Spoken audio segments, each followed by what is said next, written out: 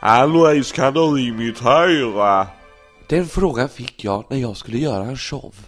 Och jag sa att nej, det går inte. Sen gick jag till Bosse Parnevik, min fina vän, och fick lära mig. Och jag har gjort Birgit Nilsson! Ja, jag har verkligen levt ett fantastiskt liv. Men ett minne jag aldrig kommer att glömma, det var när jag fick åka på visturné med Cornelis Vreeswijk och Fredrik Åkström.